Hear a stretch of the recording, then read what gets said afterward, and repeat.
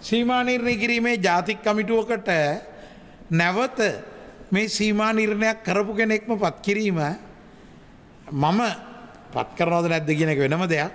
අපිම කරපු එකක් අපට නැවත වෙනස් කිරීම කෙරෙන් නෑනෙ සාමාන්‍යේ. අපි ඉන්න අපි කරපු එක හරි කියන මතේනේ. අපි හරි කියන එක කෙරපු මතේ ඉන්නවා. නමුත් අපට දිවිච්ච සීමා කිරීම් යටතේ.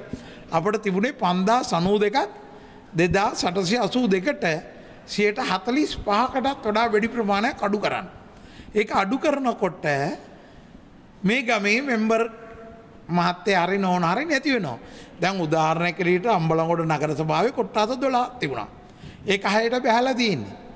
අපි පොඩි කාලේ දම්ම අපේ ගමේ පෝරම කියන ගමේ මෙම්බර් කෙනෙක් හිටිය. දැන් ඒකයි කලොඩ මුල්ලෙත් වෙනම මෙම්බර් කෙන කිටිය ඒ දෙක එකතු කරලා එක කොට්ටාසයක් කල්ලා තියෙනවා. එක් කොට්ටාස නමත් පෝරමනවේ කලුවට මුල්ල එතකොට අපට පෝරම් මිනිසුන්ට කියන්න පුළන් අපේ කොට්ටාසෙන් නැති කරයි කියලා. ඉති එහෙම දෙයක් වෙලා තියෙනවා අඩු කරන කොට එක වෙනවා. ඒක වලක්වන්න පුළුවන් දැන් නෙවෙයි. දැන් ඔබතුමා හිටපු පැතිවර ප්‍රසාරිස්වර හැටියට මේ මැතිවරණය පළාත් පාලන මැතිවරණය ළඟ තියෙනවද දැන් මේක ඉවරලා තියයිද? ඡන්ද තිබීමේ බලය ලංකාවේ මැතිවරණ කොමිෂන් සභාවටත් නැහනේ. අපේ රටේ ඡන්ද වීසිය සහ කැලෙන්ඩරයක් නැහැ. ජනාධිපතිවරණය පමණයි සහ පාර්ලිමේන්තු මැතිවරණය පමණ අරුදු පාකින් වෙනස් වුණාම තියන්න ඕනේ කියලා නීතියෙන් ජනාධිපතිවරණයට තමයි නිශ්චිතවම දින වකවානු තියෙන්නේ. ඒවත් පාර්ලිමේන්තුවට වෙනස් කරන්න පුළුවන්.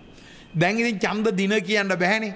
2017 ඔක්තෝබර් වල ඉඳලා දැන් අවුරුදු පහ මාරක් වෙනකන් පළාත් සභා ඡන්ද විසීම හොරු අරන් ගිහිල්ලානේ.